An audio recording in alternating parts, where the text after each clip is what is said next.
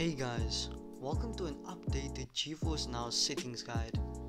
So, I've been getting comments on my previous videos saying that people are struggling with certain things and I'm basically going to be going over these errors or problems that you guys are facing when it comes to GeForce Now.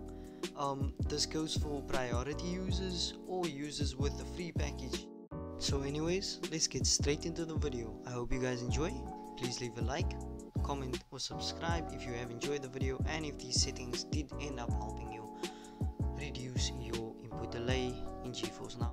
So for the first fix what I'll be going into is my GeForce Now and I'll be making changes to the GeForce Now settings.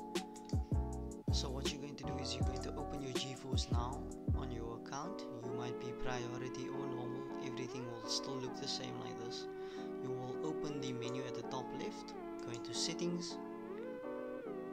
Then what you're going to do is you are going to put your streaming quality from balanced to custom. You're going to adjust your bitrate which is basically how much data your game takes from your Wi-Fi every second if that makes sense but anyways you're going to change this to about I play below 14 for South African um, service I do live in Cape Town and I play on EU Central. This is where I get the best like the lowest latency basically. Um, I stay on standard resolution. I keep my clipboard on. I have direct mouse input on which is a setting that you must apply in settings. But I think that it should be uh, for everybody now. I think they've added it into the settings actually. Um you could turn on in games graphic settings. So when you turn GeForce now off this basically will save your graphics. So that will mean if you change from DirectX 11 to DirectX 12 or to performance mode it will stay on that when you log in. But unfortunately I have to upgrade to a better package. So this will not apply for those who are using the free package or priority. This is for only higher packages. You will keep your network status off. Another thing that I also do recommend is going to your uh, streaming quality and under resolution you want to change from it should be 1920 by 1080 but I would prefer using a lower resolution if your internet is slower or cannot deal with large bandwidth.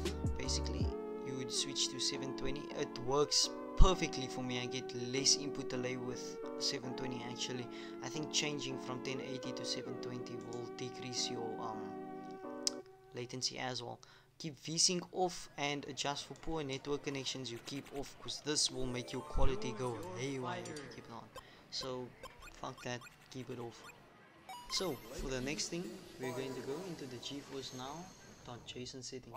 So what you can do is you can go on to where your app is installed basically and right click and press open file locations. Or you can click windows key and R type in percent app data percent press ok click on app data go to local scroll down until you find NVIDIA Corporation. No you're going to GeForce now sorry and then CEF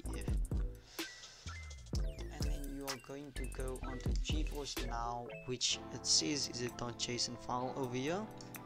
And you're going to right click click on properties. Make sure that read only is off so that you can apply changes to the document. Click apply and ok. You're going to open the document. Now here is where our settings cover. This performance mode would normally be set as DX11 DX12. What I recommend typing in settings is DX12 because it's much better than playing on DX11. In performance mode, there's no performance mode um, option that you can type into this file to make performance mode, let you enter performance mode every time you log into Fortnite, unfortunately. So you have to either use DirectX 12 or DirectX 11. I recommend DirectX 12. Um, you are going to go down until you see this which is app HIDPI you're going to set it from false to true. Mine's already true. And you're going to go to streamer which is down here. We're gonna set it from true uh, from false to true. VSync you can turn from true to false. It actually does have a better um, frame rate and less it decreases your latency. But I have it on because I prefer a smooth screen and you're going to make sure that resizable is true and the AO HID configurable is true as well. After that you can click either file and save over here or you can just exit out and then click save when it prompts you over here. After doing so you click on properties, click the read only, apply and OK now you're going to restart your GeForce Now app and those should be applied so one app that I do recommend you guys should install onto your PC or laptop so that you're running GeForce Now on is timer resolution. I'll have a link in the description so that you can download it but you should set this as an administrator. So you're going to click and run as administrator or go into properties so that you can click run uh, compatibility and run this program as an administrator. So it always opens as admin. It's normally going to be on default which would be a higher value than this. And then you set it to maximum. So it will go like this to a low value. Basically this is the that's normally what the resolution is on. And then you click minimize. You have it minimized and you just run it in your background while playing the game doesn't take too much memory and it doesn't occupy any of your CPU so you should be good to go. Our next step will be changing our PC power plan from normal or high to ultimate PC performance. So what we will need to do is firstly go in the description there will be this command that we will need to insert into our command prompt to get into the command prompt, what you will do is type in CMD in your search bar, right click on it and run as administrator. Once you've done this and click yes to allow it, you will paste the command in and press enter. Then it will say this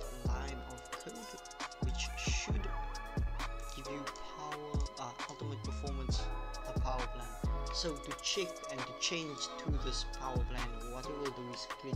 The search bar again search power and then edit power plan should come up at the bottom or well wherever it is. On your PC but it should come up there.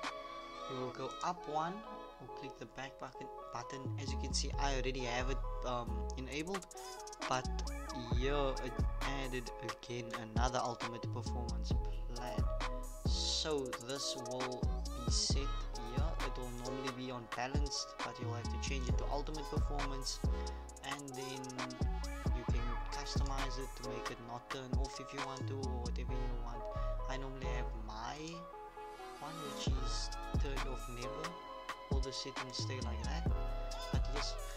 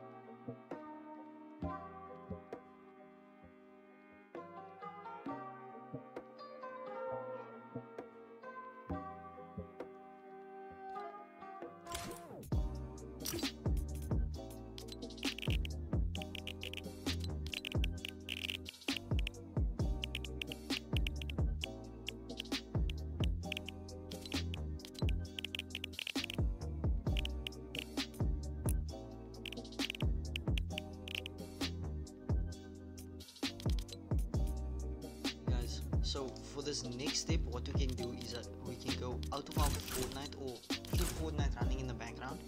Or GeForce Now you can click on task manager on your PC so that your task manager can open up. Once your task manager has opened unfortunately my PC shit so I have to wait. Um, once it has opened and you get your GeForce Now that's running in the background what you want to do is you're going to say go to details once you cl uh, right click and click go to details. Oh my do I need to go into? So you click Fortnite go to details. Basically I clicked on the Fortnite GeForce one now. And then it will take you to this. What you will want to do is where you see this is occupying your CPU you're going to take this and set priority to above normal. This will basically prioritize the game so that you have less input delay and all the background apps will be slowed down basically. Yes. So I recommend using this. Yeah I just recommend using the setting